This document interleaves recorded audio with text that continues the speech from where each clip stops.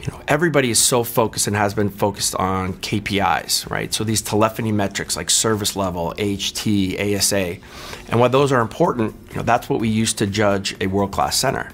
But with the speech analytics that we now have on our platform, um, we use Interaction Analytics Pro um, on our platform.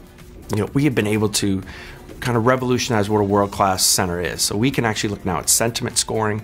We can tell our customers what percentage of, of their customers actually have a negative sentiment. And we can go then and have them fix that, which then really just has us become like a really a, a twofold where we're, we're working on our agents to be as efficient as possible, but actually now looking at the customer journey and seeing if there's any hiccups there.